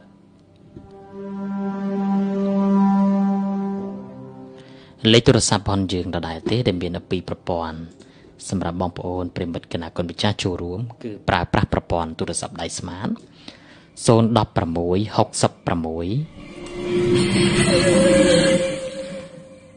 បាទ016 66 10កុដ55និង099 66 10កុដ55អាឡូជម្រាបសួរបាទអាឡូជម្រាបសួរបង អរគុណបងអូនទូរស័ព្ទពីខាងណាដែរអឺបងអូនខតពីគពូសោមទៅបងពីព្រះសីហនុណាបាទបាទបងបាទអញ្ចឹងការពិតបងអូនជាអ្នកជួបព្រលឹងវិញ្ញាណខ្មោចនេះខ្លួនឯងបាទបាទបងជួបប្រទេសខ្លួនឯងបងអូយ៉ាងណាទៅអញរៀបរាប់មកណាបងអូនិយាយទៅកាលនោះបងអូននៅរៀងក្មេងៗដែរបងបាទហើយធ្លាក់ភ្លៀងដើមឆ្នាំដំបូងហ្នឹងបង ហើយនៅផ្ទះគាត់ប្រើឲ្យទៅទុកភ្លឺខ្សែអញ្ចឹងណាបងបាទហើយយប់ស្ងាត់អីបងហើយដើរទៅគូប្រទេសអស្អីសូសូស្ទុងណាបងអូនិយាយទៅព្រឹកក្បាលហ្មងបងហ្នឹងគឺផ្ទាល់ហ្មងបងប៉ុន្តែអត់បង្ហាញមុខអីបង្ហាញឃើញបងបងឃើញសអញ្ចឹងបងអញ្ចឹងកាលហ្នឹងយើងយើងយើងជួបស្ថានភាពបែបហ្នឹងតែប៉ុណ្្នឹងណាបងប្រុសណា បាទបាទហើយបងប្អូនព្រឹកក្បាលហើយទប់មកផ្ទះវិញហ្នឹងអញ្ចឹងនឹងអារម្មណ៍បងប្អូននេះគិតថាវាជាអីមួយមិនល្អហើយបាទក្នុងចិត្តគឺថាខ្មោចហើយមែនទេបាទខ្ញុំចិត្តថាខ្មៅនៅតែហ្នឹងនៅយ៉ាងក្មេងដែរបងបាទអរគុណបងប្រុសណាហើយសុខសប្បាយសំណាងល្អសិរីសួស្តីបងបាទបាទបង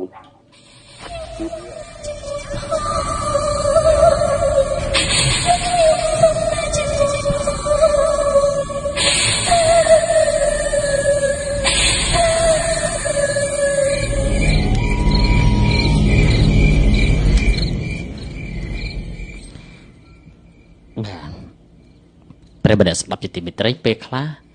អឺថាយើងវ័យក្មេងឬក៏យ៉ាងណាខ្ញុំកណាមិនមិនប្រកាសដែរយើងយើងកុំប្រ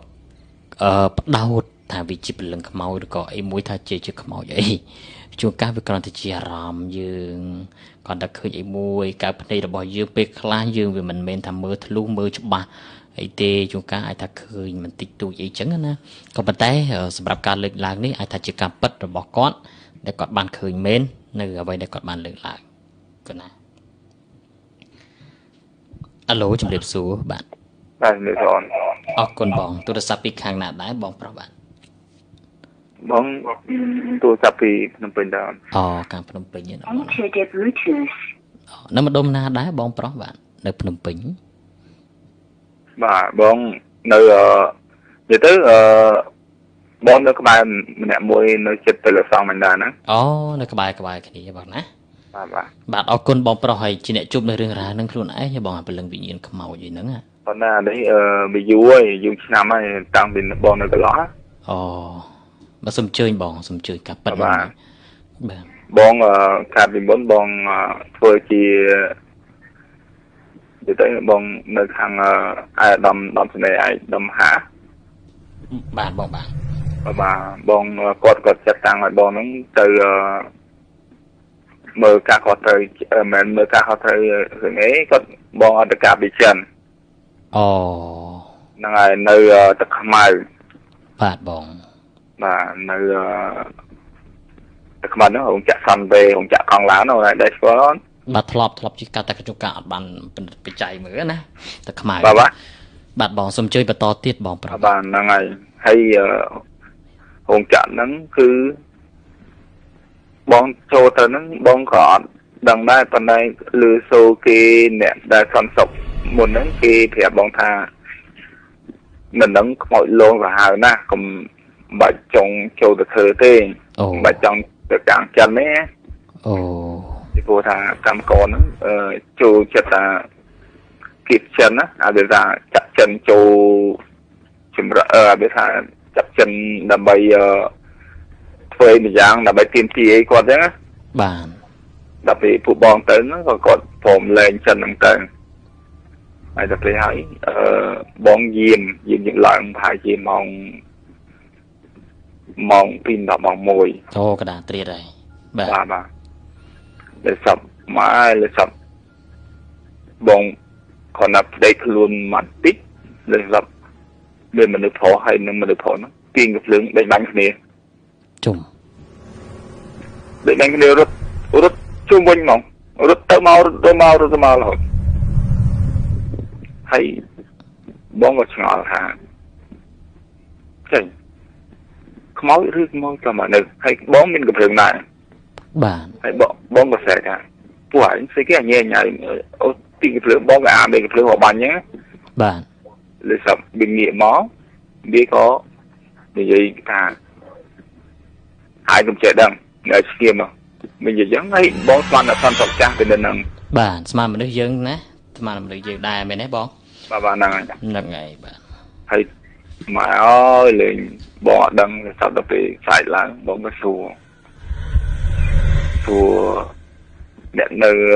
ធ្វើកម្មកររោងចក្រហ្នឹងហ្នឹងហ៎រោងចក្រកង់ឡានហ្នឹងរោងចក្រសាន់វេហ្នឹងបាទបងក៏សួរថាអឺ ចេះអី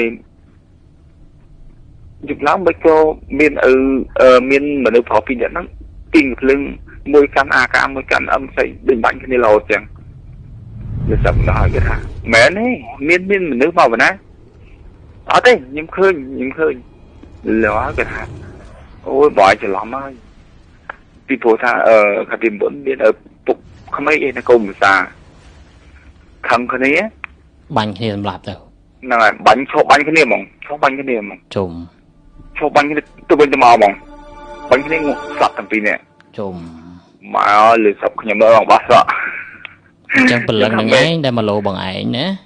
ហ្នឹងហើយខ្ញុំថាមេខ្ញុំដូរកន្លែងយាមហើយមេថាអាចដូរកន្លែងយាមហ្នឹងបើអាចចាត់សោតត្រូវកន្លែងហ្នឹងហើយខ្ញុំថាអត់ទេខ្ញុំដូរកន្លែងយាម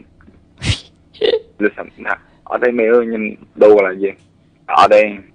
អាចដូរកន្លែងយាមហ្នឹងបើពួកអាហ្នឹងវាដឹងសាច់រឿងអស់វាអត់ទេទៅយាមឡើយហើយហងហើយហើយហើយពួកចិនវាងាកឡើងវាត្រូវហាត់ប្រាណនៅហ្នឹងងាយឡើងហៅថានៅកន្លែងផ្ទះកន្លែងហ្នឹងមានផ្ទះមានផ្ទះសម្រាប់ឲ្យចិននៅបាទហើយវាអត់ឲ្យចិនឃើញអឺគាត់អត់ឲ្យចិនឃើញវាឲ្យតែខ្មែរយើងឃើញអូហើយយប់ឡងដេញគ្នាអូយបងអើយខ្ញុំឡងមកយប់យប់ខ្ញុំឲ្យខ្ញុំខ្ញុំទៅទិញអាអាម៉ាញ៉េមួយ ដើម្បីដាក់កាសដាក់បើកអឺ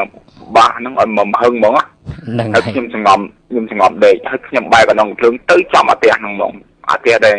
កូនសៅក្មេងបាញ់គ្នាស្នប់គ្នាណាបាទវាសពមកហ្មងបើរត់ខ្ញុំថាអាណារត់ទៅណារត់ទៅខ្ញុំខ្ជិលខ្វល់រត់ទៅអារត់លើសតពេលហើយមកខ្ញុំឡើងញាក់សាច់ហើយខ្ញុំទៅរកលោក ខ្ញុំថាតើជួយព្រោះខ្ញុំខ្ញុំផងយីបាទបូឡំឡំលើសដល់ពីហើយអឺអ្នកភូមិហ្នឹងគេថាអូយអូនអើយអូនឯងទៅយាមកន្លែងហ្នឹងចប់ហើយយាមកន្លែងហ្នឹងកន្លែងគឺកន្លែងខ្មោចឲ្យក្មេងកូនសៅបាញ់គ្នាសម្រាប់គ្នាទៅហៅណាស់អូនអើយបងអើយខ្ញុំខ្ញុំប្រាប់ខ្ញុំឃើញស្ដាយហ្មងរត់ដេញបាញ់គ្នាហ្មង ខ្ញុំថាអូងាប់ហើយអារត់ហ្នឹងបងអត់យើងអត់មានលឺសលេងពពពពពស្រាប់ជើងឲ្យរត់ដេញទេណាវាអត់លឺទេត្រូវគេអត់លឺសំឡេងទេប៉ុន្តែលឺលឺលឺសូតាវាថារត់ហ្មងរត់រត់និយាយលឺរត់ទៅវិញទៅមកទៅមកទៅមកបានន័យថាបងឃើញជាសកម្មភាពមិនតើលឺសលេងបាទណាគឺសកម្មភាពប៉ុន្តែគាត់ណាវាថាឃើញថាលឺសូសំឡេងហ្នឹងវាអត់លឺត្រូវបាទប៉ុន្តែខ្ញុំលើតែខ្ញុំផ្ទុះអាវុធមកគ្រាប់ខ្ញុំផ្ទុះអាវុធខ្លួនឯងបាទខ្ញុំផ្ទុះអាវុធហ្នឹងខ្ញុំពុកគម្រាមថាកុំឲ្យបាញ់គ្នាអញ្ចឹង ណាលើតែដល់ពេលផឹកឡើងមេឲ្យវាឡើងហូរឈាមខ្លះដែរវាលើអាថ្មដៃក្តាំងណាបាទហើយបើមិនជឿទេអូនឯងទៅសើបសួរនៅហ្នឹងទៅអឺហឺអរគុណបងបាទអង្គចាក់អង្គចាក់សាន់វេនៅទឹកខ្មៅអង្គចាក់ខាងឡានហ្នឹងហើយអញ្ចឹងអញ្ចឹងបានន័យថាបងបាទជួបពលឹងខ្មោចហ្នឹងហើយ អរគុណច្រើនដែលបានចែករំលែកដល់ការពិតបងហើយជូនពរបងនិងក្រុមគ្រួសារជួបតែសេចក្តីសុខសុខសប្បាយតទៅបងណាអរគុណច្រើនបាទជម្រាបលាបងបាទ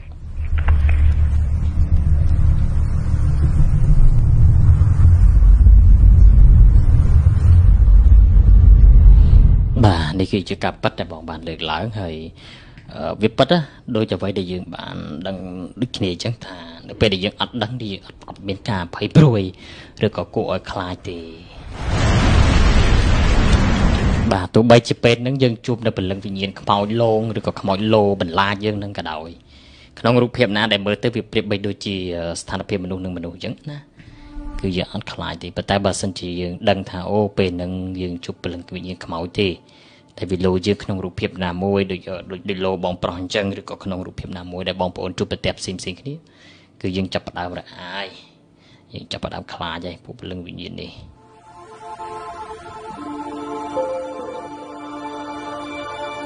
ឥឡូវយើងបន្តទៀតសិនបាទការជួបជាមួយនឹងប្រិមិត្តយើងបន្តដែលមានលេខទូរស័ព្ទដៃពីប្រព័ន្ធដដែលនេះទេដែលប្រិមិត្តយើងអាចចូលរួមបានបន្តទៀតណាបាទ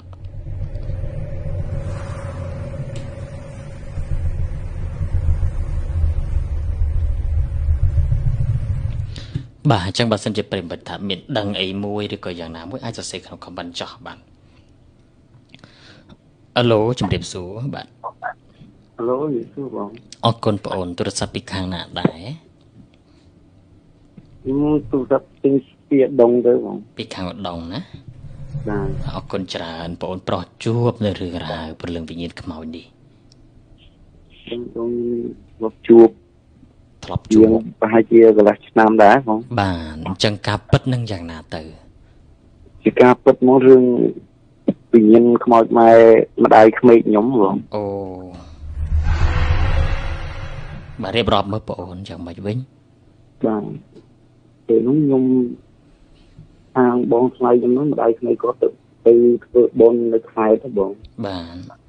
បាទតោះមកខ្ញុំគាត់ទៅហៅខ្ញុំឲ្យគុណកូនខ្ញុំហ្នឹងទៅជួយវិដរផ្ទះគាត់ទៅជំនាញមួយគាត់ហ្នឹងតទៅយប់ហ្នឹងទៅលេងខ្ញុំដេកវងលេងយប់កៅបាំងនេះ តែពេលហ្នឹងតែខ្ញុំមិនដឹងមិនខ្ញុំកៅបើកភ្លេងខ្ញុំបើកនេះទៅលេងឃើញម្ដាយក្មេកឈរលើក្បាលតែមើលកូនខ្ញុំហ៎បងជុំឃើញគាត់និយាយឃើញគាត់មុខទោះហ៎បង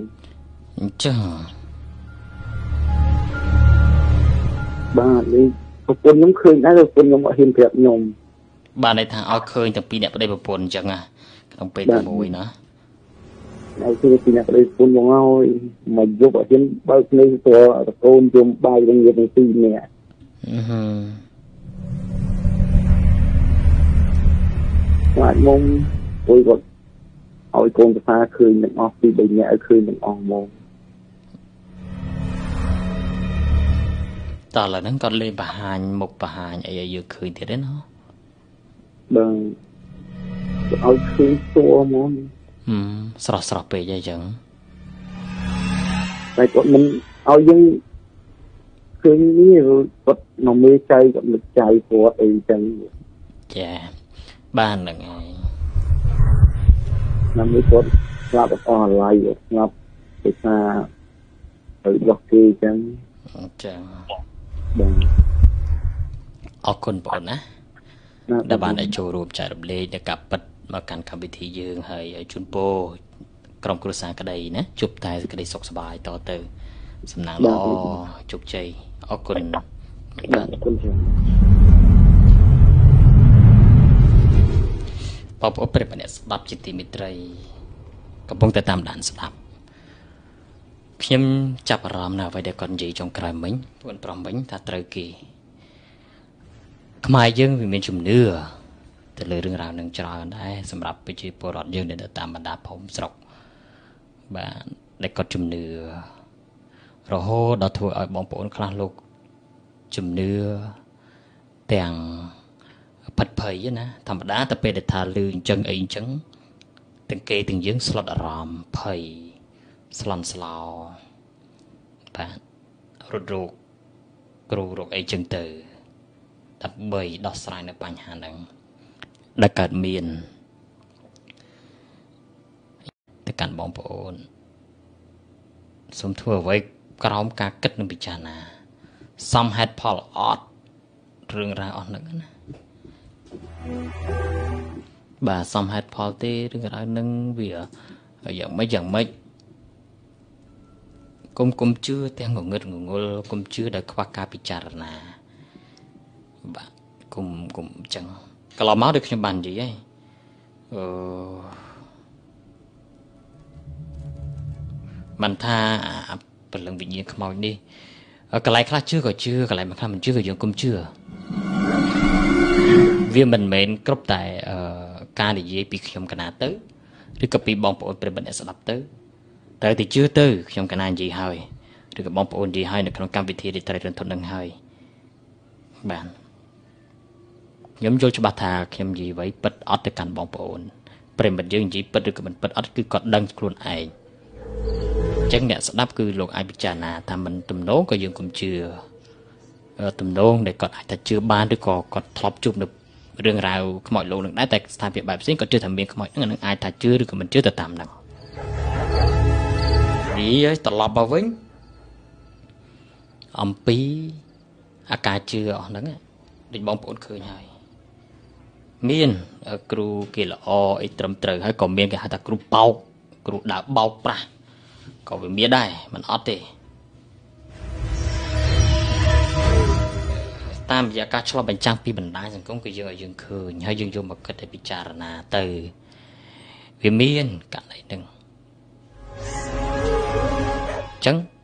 ដោយសារតែខ្លួននឹងបានទទួលសម្ពាធផ្លូវចិត្តបាត់ហើយពីគ្រូនឹងមើលមក តើគាត់នេះត្រឹមពើគេជាមួយចុះពីហើយតតតែដោះនៅក្នុងលក្ខខណ្ឌណាមួយជាមួយចុះពីបានអស់ទាំងគេទាំងយើងស្ថិតនៅក្នុងកលៈទេសៈនឹងភ័យហ่ะហើយមិនបានគិតពិចារណាផងជឿយកហ្មងកណាជឿយកធ្វើម៉េចទៅលោកគ្រូអីជាមួយចុះពីប៉ះចំមកគ្រូខ្លែងខ្លាយអញ្ចឹងបាទដល់ពេលប៉ះចំខ្លែងខ្លាយអញ្ចឹង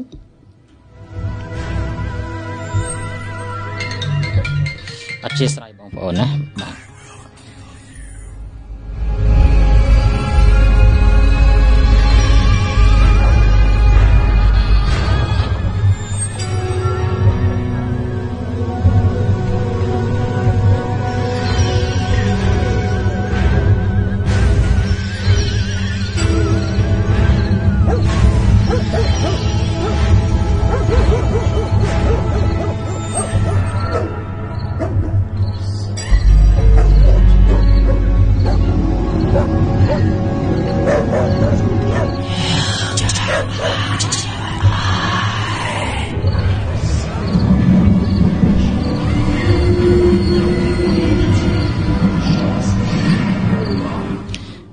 ធិស្ឋានបងប្អូនអឺខាង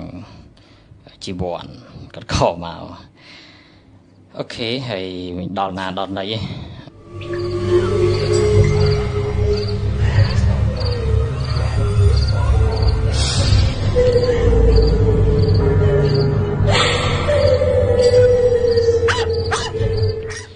បាទអឺនឹងចង់និយាយចឹង អញ្ចឹងយើងយើងពិចារណាណាកុំចេះខ្ញុំអត់បន្ទោសទេបាទទាំងការស្ដាប់កម្មវិធីនេះដូចគ្នាដែរទំនងជឿចំជឿមិនជឿក៏កុំជឿទៅព្រោះអឺពេលខ្លះយើងក៏កុំបដោតទាំងស្រុងបាទពេកចែកចោះមកមើលទៅទំនងខ្ញុំជឿស្អីក៏ដោយហើយតែទំនងឲ្យយើងពិចារណាយើងឲ្យបានដិតដល់ហើយកុំមិនចិត្តអឺមួយដែលគ្មានការពិភាក្សាពីក្រុមគ្រួសារសាច់ញាតិអីដែរណា ហៅគ្នាអញ្ចឹងនាំគ្នាទៅនេះទៅនោះទៅធ្វើប្រតិបត្តិអញ្ចឹងមានមកកណោគោដឹកគ្រូអញ្ចឹងចាប់វាយខ្នោះគឺត្រឹមត្រូវណាហ្នឹងហើយកម្ដៅបោប្រាប្រជាពលរដ្ឋយើង ធម្មតានឹងគេទាំងយើងដូចខ្ញុំនិយាយអញ្ចឹងថា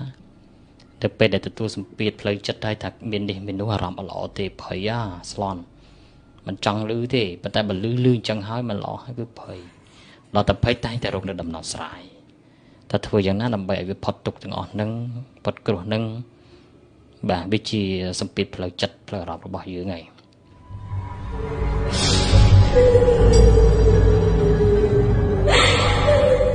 ចឹងអ្វីដែលសំខាន់ធ្វើសេចក្តីល្អទៅពើល្អសុវត្ថិភាពប្រយ័ត្នប្រយែងទៅទីចិត្តទីឆ្ងាយណាមួយចេះមួយចុះពីរ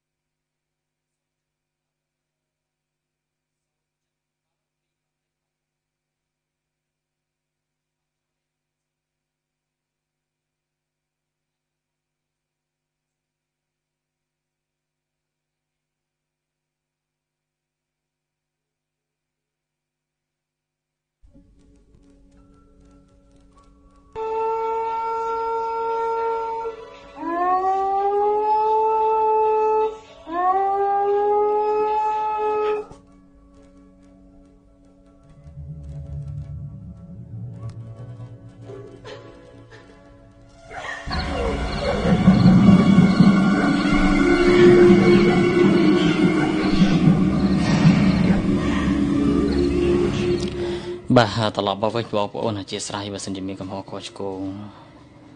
កំពុងតាមដានស្ដាប់ចឹងទៅឬទូរស័ព្ទរោអីចឹងមួយចុះពីរព្រោះទូរស័ព្ទខ្ញុំកណាគឺត្រូវបើកដើម្បីតាមដាន comment បងប្អូនតាម Facebook ព្រោះរាល់អ្វីដែលបងប្អូនសរសេរគឺខ្ញុំមើលឃើញហើយចឹងក៏មានការក៏ចូលរួមបន្តអញ្ចឹងទៅក៏អធិស្ឋានមិនបានបិទសំឡេងឥឡូវយើងជួបគ្នាទៀតប្រិមិត្តណាបាទ ហៅជំរាបសួរខ្ញុំជំរាបសួរអូនអូអូបងប្រុសជួយជួយបន្ថយសំឡេងវិទ្យុបន្តិចបងណាបាទបាទចេះមិញនេះបងមិញចូលរួមម្ដងហើយបាទមិនដែរបងបាទប៉ុន្តែបងចង់ពួយថាបងចង់ចូលរួមសັບអាស្អែកម្ដងទៀតឬក៏សប្តាហ៍ក្រោយម្ដងទៀតប៉ុន្តែបងសូមចូលរួមពួយបងមានរឿងជាច្រើនដែលពាក់ព័ន្ធនឹងបងជួប បាទបងបាទបងអាចព្យាយាមស្អែកក៏បានដែរបងព្រោះព្រោះយើងនៅមានពេលវេលាទៀតជូនបងអញ្ចឹងណាប៉ុន្តែអត់ទេអានេះរឿងនេះរឿងនេះរឿងខ្លីឯងប៉ុន្តែបងចង់ចូលរួមបន្តិចពីព្រោះថារឿងហ្នឹងអឺប៉ុន្តែអានបងប្រាប់ឃុំភូមិជាហ្នឹងអត់អីណាមិនដែរបងនិយាយមើលសាក់សិនមើលបងចង់និយាយថាបងចង់និយាយពីរឿងដែលបងធ្លាប់ជួប រឿងបញ្ហារឿងដែលគេសពមានបញ្ហាចេះមួយចេះពីរនៅភូមិភូមិនេះចឹងណាបាទប៉ុន្តែបងវាស្អុយពេញភូមិហ្មងណាសពហ៎បាទសពអឺសាកសពដែលកប់នៅក្បែរភូមិនឹងមានក្លិនជះទៅភូមិស្រុកយើងអញ្ចឹងហ៎បងហ៎អត់ទេបើបើបើឲ្យបងចូលរួមបងចូលរួមប៉ុន្តែបើសិនតែអត់ទេបងអត់ចង់ចូលរួមក៏បានដែរប៉ុន្តែ អត់ទេបងចូលរួមប៉ុន្តែវាជាជាក់ស្ដែងមិនវាទេបងអត់ដែរគិតមើលអឺគាត់នឹងឈ្មោះកតកគាត់នៅភូមិចំបៃវត្តដីក្រហមនៅខេត្តទឹកអឺខេត្តខេត្តតកែវទលេវទីយើងហ្នឹងបាទអាហ្នឹងបងនិយាយពួយព្រោះដល់បងរស់នៅហ្នឹងជា7 5 10ឆ្នាំណា បាទហើយអឺដល់ពេលហើយក៏ស្លាប់តកូនហ្នឹងអ្នកណាក៏គេអាណិតឆ្លាញ់គាត់ដែរប៉ុន្តែពេលដល់ពេលក៏គាត់ស្លាប់ប៉ុន្តែនៅក្នុងគាត់ហ្នឹងគេកប់មិនទេមិនដឹងតែកប់ជ្រៅបន្តបន្តបងបន្តណែមិនដឹងថាគេកប់មិនទេមិនដឹងថាគេកប់រាក់ឬក៏ជ្រៅទេប៉ុន្តែអូនអើយនៅសាប់បានបែរជា2ថ្ងៃ3ថ្ងៃក្រោយឆ្កែ តកាយមកអូសជាងគាត់យកមកដាក់ក្នុងក្បែរវត្តវត្តដីក្រហមយើងហ្នឹងបាទហ្នឹងហើយខ្ញុំនិយាយប្រាប់ឈ្មោះហ្មងប្រាប់ខ្មោចថាអឺអ្នកស្ដាប់ថាអានោះជាតែនិយាយបើប្រហែលប៉ុន្តែឲ្យទៅសួរទៅមែនមកឲ្យស្អុយពេញភូមិហ្មងជើងមកកណាត់ហ្មងណាជើងខ្មោចតកហ្នឹងហើយ ភូមិហ្នឹងមកល្បីណាស់មកខ្មោចឡងយប់ឡើងអឺបងទៅមើលអឺខាងហ្នឹងមានវីដេអូហ៎គេបញ្ចាំងវីដេអូហ៎ឡូបាទបងបងតាមដានស្ដាប់បងហ្នឹងហើយបងមើលវីដេអូយប់ឡើងបងមើលវីដេអូបងដើរបិទភ្នែកហ៎បងដើរអីហាក់អីអាដើមមកដើមមកដើមអឺដើមបាទឹកយើងហ្នឹងមាននៅសងខាងផ្លូវបងមុតមុតអាដើមអាដើមពិលទឹកណា ដល់សាយដល់សាខ្លាចខ្មោចលងបងដើរដល់ផ្ទះភូមិហ្នឹងភូមិដីក្រហមវត្តអឺភូមិដីក្រហមនិយាយទៅគេហៅភូមិកៈនៅហ្នឹងណាកំពូសាច់ខ្មោចលងហ្មងមកប្រាប់ហ្នឹងហើយខ្មោចតកោហ្នឹងក៏ស្លាប់ដល់ពេលក៏ស្លាប់ទៅគេយកទៅកប់គេអត់បូជាព្រោះព្រោះថាគេអត់មានមច្ឆាបូជាគេយកទៅកប់ដូចតាមអូនអើយឆ្កែកាយមក យកជើងគាត់យកមកដាក់ក្នុងវត្តទាញជើងគាត់មកខ្នាត់ដំណើរវត្តស្អុយមកភូមិហ្មងដល់ពេញភូមិហ្មងថានាំគ្នាលោកទាំងលោកទាំងចាអធិការនាំគ្នារងស្អុយអីស្អុយអីលើសតើមើលជើងតកអូយនិយាយទៅថាគួរឲ្យភឺសបល់មកលើសិនតែពេលឲ្យបងប្អូនតកហ្នឹងក៏មិនដឹង ធ្វើមិននាំគ្នាយកជើងតកហ្នឹងយកទៅកប់វិញពុតកប់រាក់ទៅចឹងបាទហើយអត់អត់មានអាកុំបឈួរកាលពីសម័យបងនៅកន្លោះវាសម័យនិយាយទៅវាសម័យដូចជាកៅជាងហ្នឹងឯងចឹងសម័យហ្នឹងបងនៅកន្លោះហ่ะហ្នឹងហើយនៅកន្លោះហើយបាទហើយប្រហែលជា20ឆ្នាំមុនណាហើយដល់ពេលឥឡូវបងវា មានកូនមានអីហើយប៉ុន្តែឥឡូវមកជួបប្រទេសខ្មោចទៀតហ្នឹងប៉ុន្តែហើយចាំហ្នឹងហើយជួបវាត្រូវជួបចឹងណាបងណាអរគុណហ្នឹងហើយហើយយ៉ាងយ៉ាងណាក៏ដោយយើងនឹងបន្តជួបគ្នាទៀតព្រោះបងមានការប៉ັດច្រើនអញ្ចឹងអាចស្អែកក៏សព្រោះប្តាហ៍ក្រោយបងមានរឿងច្រើនណាបងមានរឿងបាទពាក់ព័ន្ធនឹងកោះពេញហើយទៀតណាអូខេបាទបងអរគុណណាបាទជួចាំបបងអឺសុខសប្បាយសប្តាហ៍ក្រោយសប្តាហ៍ក្រោយចាំបងនិយាយប្រាប់រឿងហ្នឹងបាទបាទអរគុណបាទម្ដងអរគុណច្រើនបាទ ស្ដាប់មិញទៅដូចជាមិនមានអីខុសឆ្គងទេដែលបានលើកឡើងនឹងអឺអឺអឺស្មានថារឿងអីមួយយ៉ាងណាក៏ដោយតែជាកាប់ពិតអាចនិយាយមកយើងស្ដាប់សិនហើយយើងចាំអឺលើកឡើងបន្តបន្តទៀតតើតើវាយ៉ាងម៉េចយ៉ាងម៉េចចឹងណា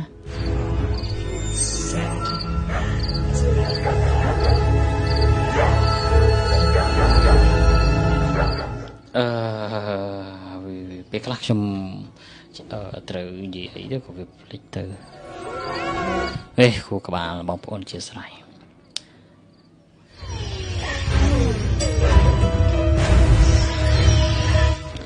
ឥឡូវយើងយើងនិយាយអំពីរឿងរ៉ាវបន្តទៀតបើសិនជាមានការចូលរួមក៏ក៏បន្តចូលរួមបងប្អូនណាហើយនឹងចាប់ជូនបាទលេខទូរស័ព្ទដដែលទេ គឺ016ឬក៏099 ទាំងពីរលេខដូចគ្នា66 10គុត55 66 10គុត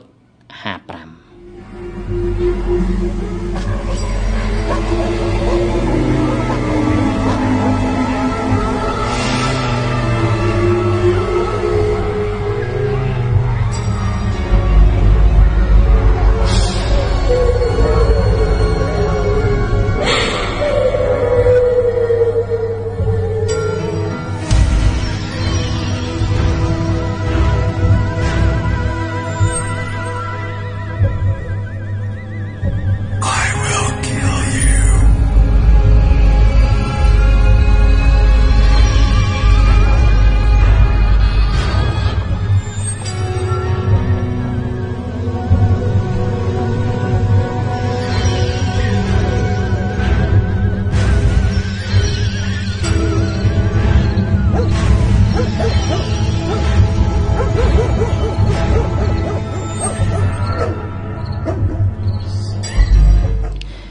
គុណមកអព្រិមអ្នកស្ដាប់ជាទីមេត្រីហើយពេលវេលាយើងហ្នឹងក៏វាបានដើរទៅមុខនឹងលឿនដែរណា